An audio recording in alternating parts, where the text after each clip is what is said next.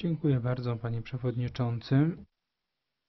W Szwecji e, nazywamy te e, osoby bez dokumentów.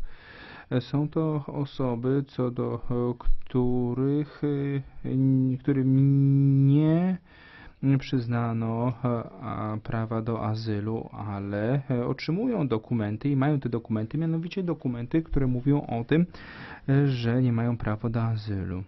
Te osoby powinny opuścić nasz kraj, a mimo tego pozostają w naszym kraju, korzystają z opieki zdrowotnej oraz e, korzystają z różnego rodzaju form pomocy i to pomoc, która jest niejednokrotnie bardziej rozbudowana niż w przypadku seniorów w Szwecji. Te osoby gdzieś e, znikną i trudno je odnaleźć. Wiemy, że te osoby pracują e, na czarno, nawet e, posuwają się do e, przestępstw, a także do aktów e, terroru.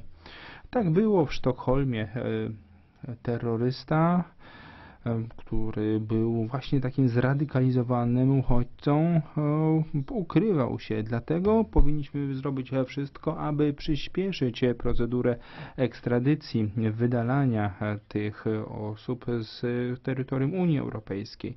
Te osoby, których wnioski o azyl e, zostały zostały e, odrzucone, powinny pozostawać pod nadzorem. Inaczej będzie bardzo, bardzo trudno w przyszłości.